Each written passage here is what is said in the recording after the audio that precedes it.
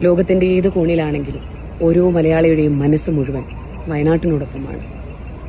മുണ്ടക്കൈയും ചൂരൽമലയും വയനാടിന്റെ വയനാട് മുണ്ടക്കൈയിലും ചൂരൽമലയിലുമുണ്ടായ ഉരുൾപൊട്ടൽ ദുരന്തത്തിൽ ധനസഹായം നൽകിയതുമായി ബന്ധപ്പെട്ട് ഉയർന്ന വിമർശനങ്ങളോട് പ്രതികരിച്ച് നടി നവ്യ നായർ അഞ്ചു രൂപ കൊടുത്താൽ അത് പത്ത് പേരെ അറിയിക്കണമോ എന്നായിരുന്നു താരത്തിന്റെ പോസ്റ്റിൽ ഒരാളുടെ കമന്റ് അതേസമയം എല്ലാത്തിനും നെഗറ്റീവ് കണ്ടുപിടിക്കാതെ മനസ്സ് അനുവദിക്കുന്നത് കൊടുക്കുമെന്നും നിങ്ങൾ ഫോട്ടോ ഇടാതെ ഇരുന്നാൽ പോരെ അതാണ് ശരിയെന്ന് തോന്നുന്നെങ്കിൽ എന്നായിരുന്നു താരത്തിന്റെ മറുപടി.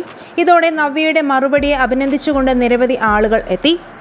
ഷൂട്ടിംഗ് തിരക്കുകളായതിനാൽ നവ്യയുടെ അച്ഛനും അമ്മയും മകനും ചേർന്നാണ് അധികൃതർക്ക് സംഭാവന കൈമാറിയത്. ഇതിന്റെ ചിത്രങ്ങൾ സോഷ്യൽ മീഡിയയിൽ വൈറലായിരുന്നു. ഒരു ലക്ഷം രൂപയാണ് നവ്യ ദുരിതാശ്വാസ നിധിയിലേക്ക് കൈമാറിയത്. ഞാൻ കുമളിയിൽ ഷൂട്ടിങ്ങിലാണ് എന്റെ അസാന്നിധ്യത്തിൽ അച്ഛനും അമ്മയും മകനും ഞങ്ങളുടെ എളിയ കടമ ചെയ്യുന്നു. വയനാട്ടിലെ സഹോദരങ്ങൾക്കായി പ്രാർത്ഥനയോടെ ഇവിടെ സുരക്ഷിതയാണോ എന്ന് അന്വേഷിച്ച് മെസ്സേജ് അയക്കുന്ന കൂട്ടുകാർക്ക് ഇതുവരെ ഞങ്ങൾ എല്ലാവരും സുരക്ഷിതരാണെന്നും താരം കുറിച്ചു. വയനാട്ടിലെ ദുരന്ത ബാധിതരെ സഹായിക്കാനായി സിനിമാ രംഗത്തുള്ള പ്രമുഖർ മുഖ്യമന്ത്രിയുടെ ദുരിതാശ്വാസ നിധിയിലേക്ക് സംഭാവന നൽകുകയാണ്.